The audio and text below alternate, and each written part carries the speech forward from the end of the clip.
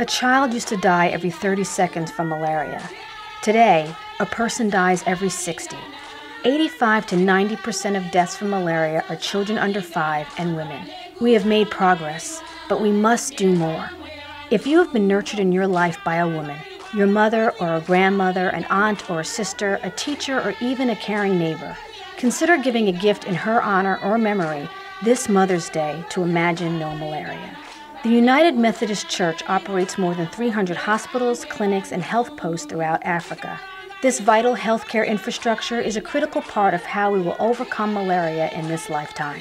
In order to be effective, these facilities must have life saving resources like rapid diagnostic tests and malaria medication.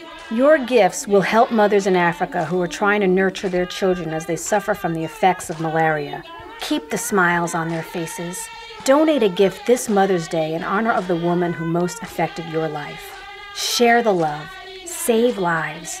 Imagine no malaria.